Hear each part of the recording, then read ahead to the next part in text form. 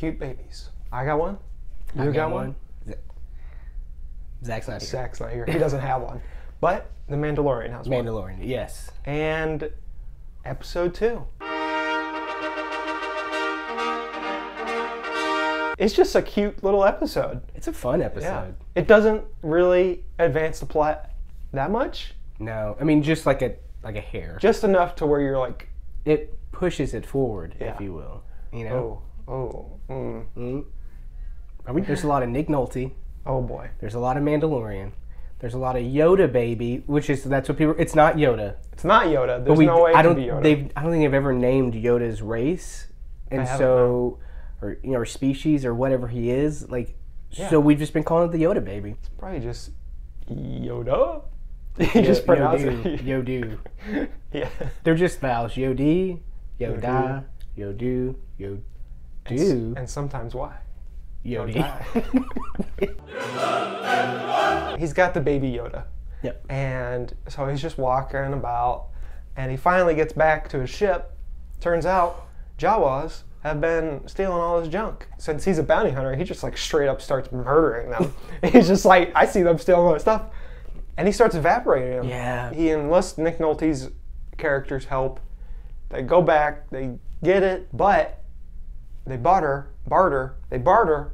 Then Mando has to fight this gross uh, yak thing. Rhino. uh, Rhino yak. Rhino. It's like a rhino yak. So so whack. he fights the rhino yak and Barely. barely, fights. Well, he yeah, he's, he's, he's done. he's getting whooped. He's getting whooped hard Yeah. because this thing is it's tough.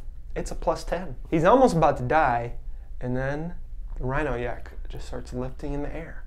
And you find out baby Yoda force sensitive. Baby has the ability to force well, it's not a baby. It's 50 years old. But Yoda's like 900 years old. Yeah, the baby Yoda has force heal, has force other powers, and I assume all Yodas are force sensitive. Because I don't know. So we end there. He gets his ship back. They build it back. Him and Nick Nolte build it back together, and he flies off. Side note: the egg, just something the Jawas want to eat. Nothing else. No, they crack it open and they're like, and they just, they just start like scooping out this goo and they're eating it. And then it cuts to Mando with his helmet on. And he's just like, you don't know what emotion he's making, but he's, he's just like, "Mm, mm, I guess. It's really fun.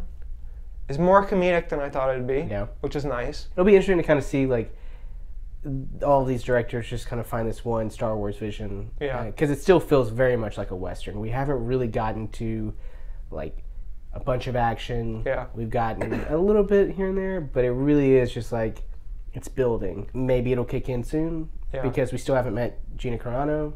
Oh yeah, We haven't met Gus Fring. You're right.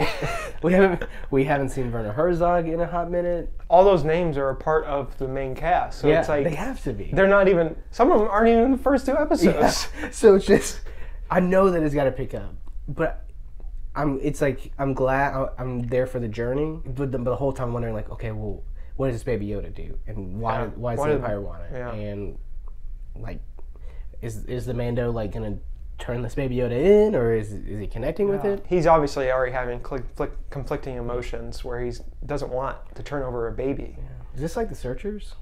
It could be. It seems in some ways it does. Yeah, I, I really like the soundtrack. Guy who did the Black Panther soundtrack and produces a lot of Childish Gambino stuff. It's not your traditional Star Wars soundtrack. Yeah, there's not even hints of it. The really the Force part is our first real. I mean, besides just iconography of the Star Wars universe, the Force is like the first real kind of connection to Yeah. like the Star Wars that everyone knows. Tonally, the show is comedic. Yeah. It's it's not over all over the place Yeah. because you know that happens a lot with shows like even Lost and Buffy. Tonally, sometimes they're just wacky all over the place at, just in one season. Yeah, So everything's working out pretty good. Like JD said, I have no idea what's going on. I know there's a baby Yoda, and it's the cutest dang thing I've ever seen I in my wish we could just give it a name. Uh, and another shout out to Pedro Pascal, who he has not taken off his helmet yet. I hope he does, and I hope he's just got a wicked mustache, right? Like just like boom mustache. And I love that he can somehow emote without like seeing his face. Not to go into it too much, but it's it's the film theory is like Yes. shot reaction shot is like sometimes the reaction doesn't have can be just a blank slate, and the You could be looking at soup. yeah, You could be looking at a coffin. you could be looking at a guy being catapulted to the moon. Still thinking about it. Our Mando doesn't have a jetpack, though. Not yet. I feel like that's gonna be like end of the season or something. But would a jetpack be like a superhero's cape, you know, in Incredibles that just kind of gets in the way? What if the last episode he finally gets his hand on a jetpack and he puts it on and it's got like this big triumphant music and then he just and it just does the Iron Man right to the wall. Are you cool with it coming out every Friday? I'm fine with it coming out Friday. I would just probably maybe I would have liked them to have maybe you know put it anywhere for me to see because I'm a casual Disney Plus user. Yeah. I'm only watching The Mandalorian and Marvel stuff and some other things. Like Alley Cat Strike. Yeah, you know, just your usual Shark Tales. Shark Tales is not on Disney Plus. Uh, the Teenage Mutant, Mutant Ninja Turtle Sharks. Oh, uh, That's not Disney uh, either. Street Sharks. Street Sharks. Guys, can we get Street Sharks? I know Disney Street- doesn't own it, but Street Sharks, please put it on Disney Plus. There was one thing on Disney Plus I got really upset with the other day. Oh yeah, my favorite part about Disney Plus, and when I say favorite, I mean the dumbest part, is how they've put titles up that you click on and like this won't be available till so, like it tells Oh my you the God. exact date. And there's some things that's reasonable, like Thor, like Thor Ragnarok. It's coming January 2020. It's like that's not that far away. George of the Jungle with Brendan Fraser, December 2020. I'm like, don't put it up. Who's waiting for that? Who's like, I'm a huge Brendan Fraser fan. I'm a huge Leslie Mann fan, and I'm even a bigger Thomas Haden Church fan. you okay, know? but how big of a George of the Jungle fan are you?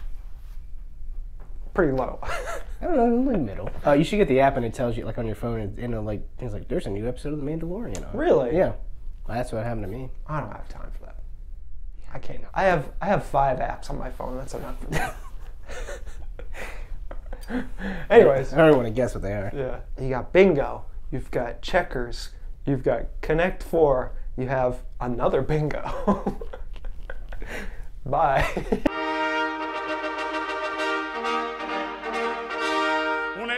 esercito di prodi da me Yod, Yoda, Yodu, Yodu. and sometimes why?